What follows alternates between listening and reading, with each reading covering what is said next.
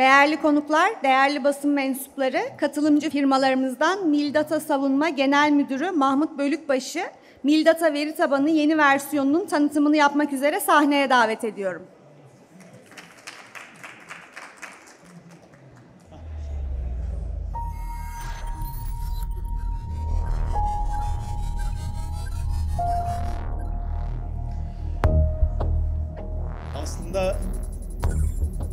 Lansmanın biraz böyle olması daha iyi oldu. Çünkü Military Big Data'nın e, daha doğrusu Sami Bey ile beraber Military Big Data fikrini inşa ettiğimizin 20. yılındayız. E, yani benim yaşımın yarısı süresince e, biraz önce kabaca bir hesap yaptım. 20 senedir 20 senedir savunma fuarlarına gidiyoruz. Senede 10 tane fuara gitsek 20 senede 200 fuar eder.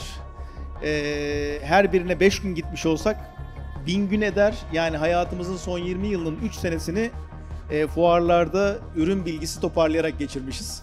Ee, bu anlamda hani Military Big Data gibi bir veri tabanının oluşturulması sürecinde insan kaynağı kısmını, e, harcanan sermaye kısmını, e, her şeyi bir kenara bırakıyorum. Çok ciddi bir zaman emeği var.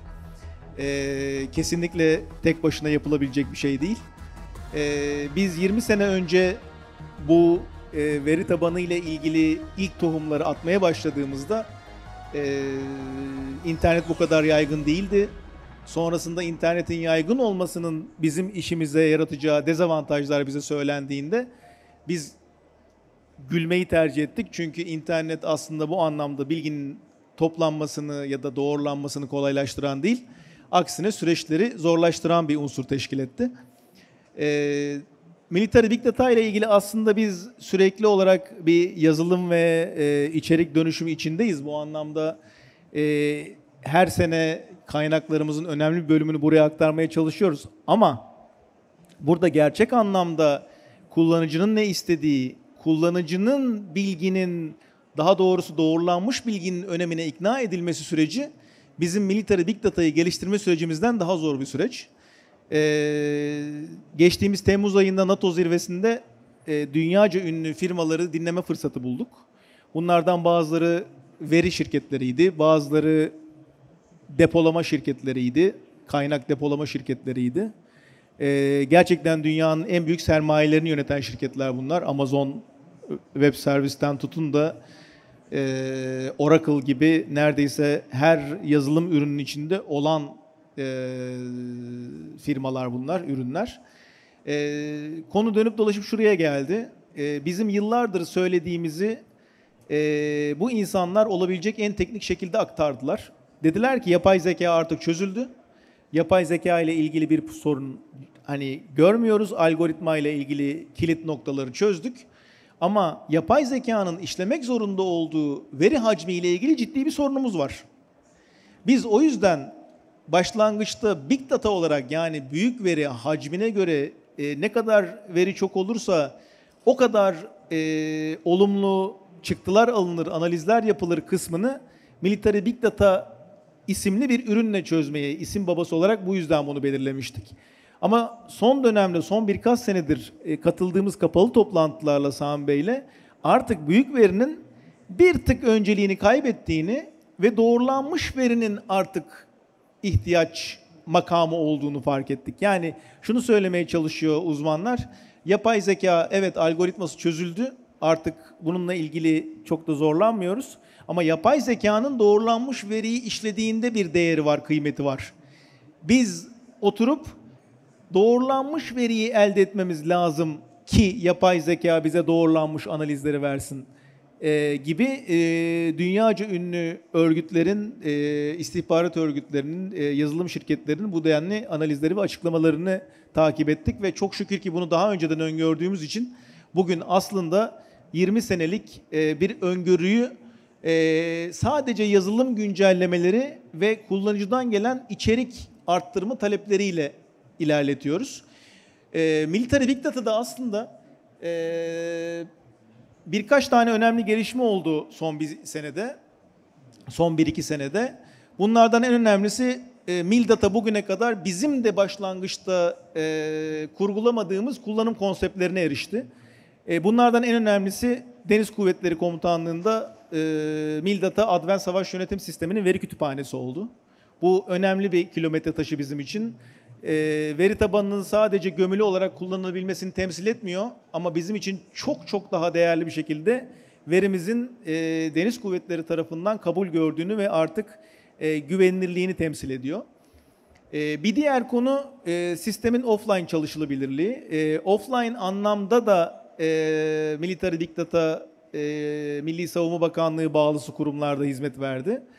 E, son olarak online. Online'da da bu bir aslında yazılım süreci çünkü e, database her geçen gün genişliyor ve doğrulanıyor. Güvenilirlik derecesi her geçen gün arttırılıyor. E, bu anlamda siz tamamen yazılım kabiliyetlerinin izin verdiği ölçüde bir iyileştirmeden bahsedebiliyorsunuz. Biz aslında dediğim gibi Sami Bey ile her kaynak yarattığımızda Military, Mil, Mildata'nın, Military Big Data'nın e, daha iyi bir versiyonuna yazılım süreciyle iyileşmiş pozisyonda oluyoruz. Bu da bir analiz kabiliyeti demek. Çünkü e, artık hepimiz zamanla yarışıyoruz. E, asker olsun, e, tedarik makamı olsun ya da kullanıcı makamı olsun hiç fark etmiyor. E, ya da üretici makam.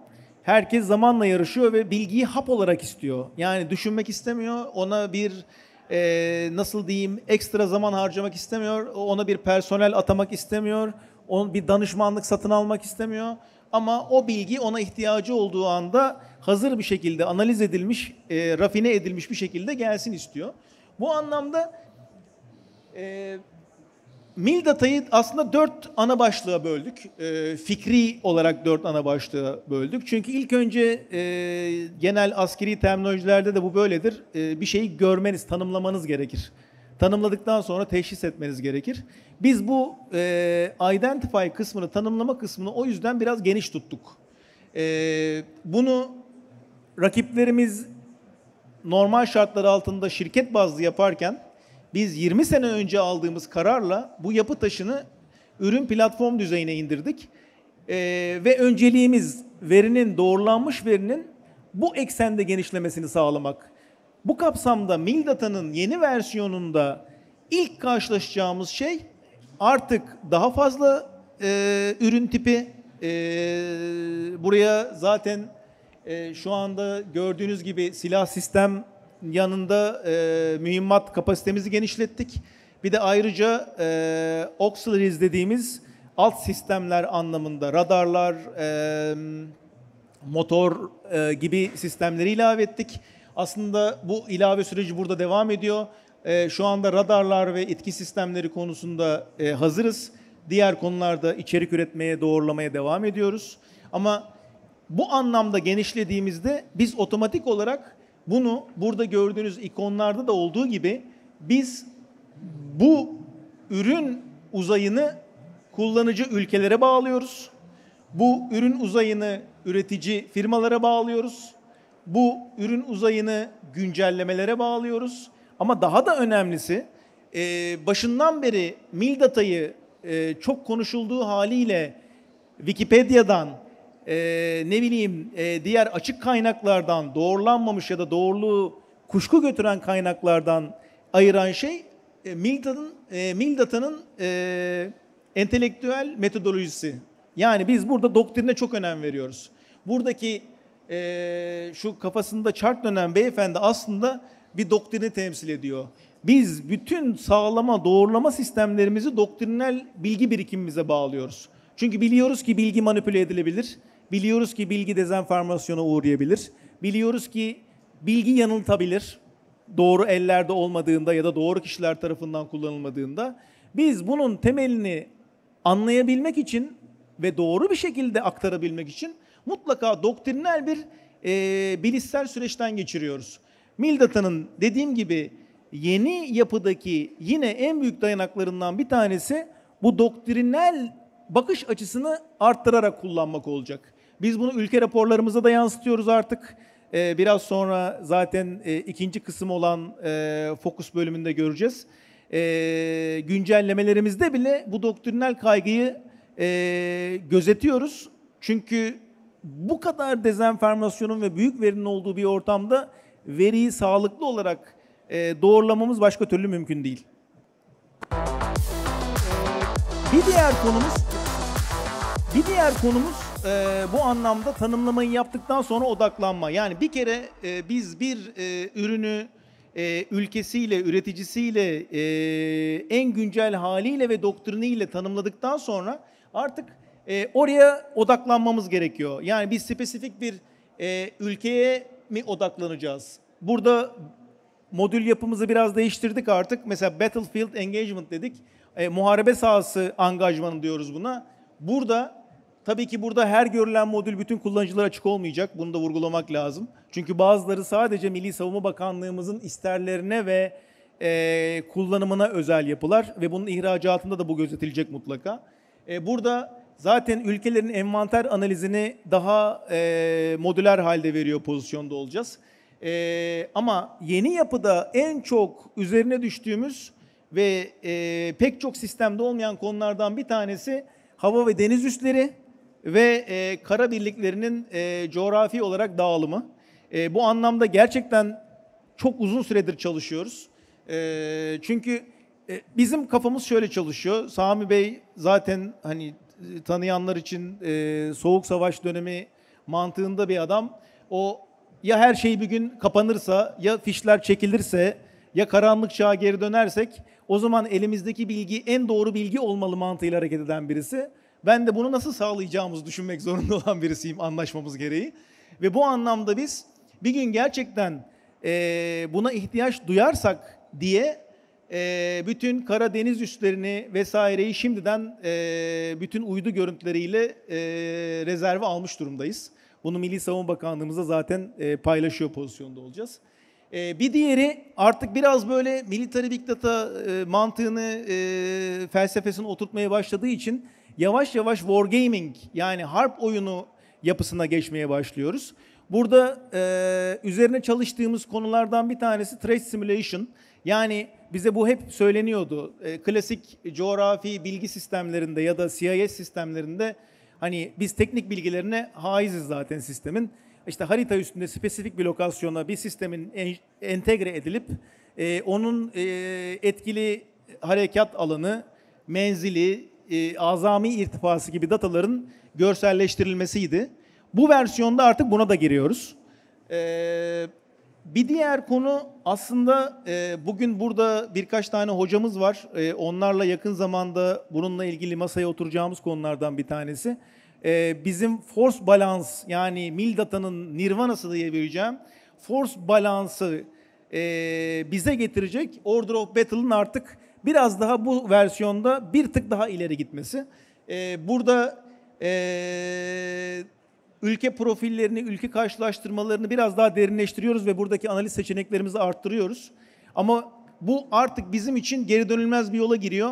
Çünkü force balance için ihtiyaç tanımımızı ortaya koyduk.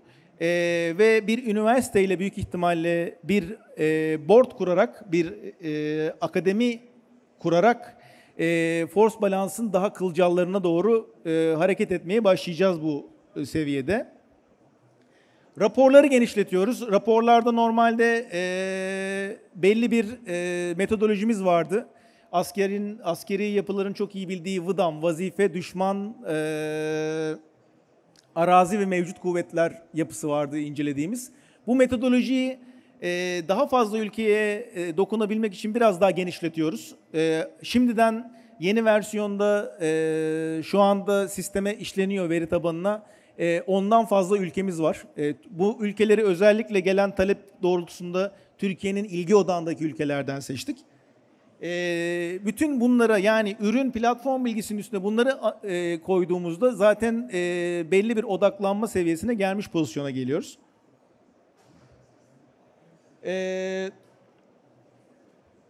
bu sistemde burada çok fazla çözünürlüğe maruz kalmış ama e, en çok e, gurur duyduğumuz ve üzerine yine en çok emek harcadığımız bölümlerden bir tanesi Arms Trade bölümü, savunma ticareti bölümü. E, bu konuda e, çok iddialıyız. Dünyada savunma ticareti verilerini tuttuğunu iddia eden e, çok fazla yapı var. Ama biz bu yapının içine gerçek anlamda ülkelerin kendi içindeki ticaretini de ekleyerek e, tamamen Türkiye'ye bir Türk firmasına özel bir e, veri tabanı haline getirdik. Burada kapsam e, tamamen anlamlı veri haline dönüştürüldü. E, kesinlikle burada e, tekst veri yok. Yani burada e, yazılımcılarımızın e, kabiliyetine bağlı bir analiz dünyası var. Yani yazılımcılarımız ne kadar kabiliyetliyse o kadar derinlemesine analiz yapabileceğimiz bir e, duruma geldik. Çünkü gerçekten o kadar çok fazla veriyi anlamlı hale getirdik ki e, diliyorum yazılımcılarımız bizi utandırmayacak ve buradan e, veri görselleştirmesi yüksek analizler çıkartabileceğiz. Tabi burada neye bakıyoruz? Ee, hangi ürün hangi tarihler arasında ee, sipariş edildi? Ee, ne kadara sipariş edildi biliyorsak bunu da veriyoruz ve biliyorsak e, birim fiyat bilgilerini paylaşıyoruz burada. Ee, burayı da zaman içinde ee, geliştireceğiz.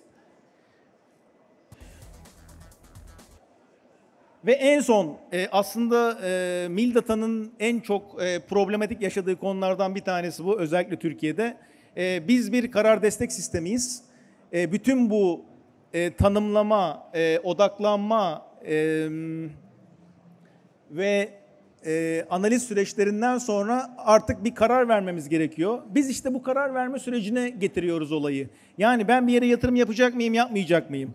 Ben e, bir ülkeyi düşman olarak görecek miyim, görmeyecek miyim? Ya da iki potansiyel hasmı birbiriyle karşılaştırdığımda e, bir sonuç çıkaracak mıyım, çıkarmayacak mıyım? Biz aslında bir karar destek sis- sistemiyiz ve bu anlamda Türkiye'nin tek karar destek sistemiyiz. E, Mildata bütün bu yapılarıyla buna e, çok çaba harcayacak. Önümüzdeki bir yıl içinde son olarak e, önümüzdeki bir yıl içinde e, yapay zeka destekli bir e, arama motoru ve adına çok basitçe Military Chat GBT diyebileceğimiz bir yapı organize etmeyi düşünüyoruz. E, görsel tanımlama modülümüz olacak. E, bunun üzerine de çok yatırım yapıyoruz. Yani herhangi bir e, platform e, cep telefonundan ya da bilgisayardan upload edildiğinde görüntü platformun tipini verecek bir yapı hayal ediyoruz. Ee, önümüzdeki bir sene içinde dilerim e, yeni lansmanda bunları görüyor olacağız. Ben e, sabrınız ve dinlediğiniz için teşekkür ederim.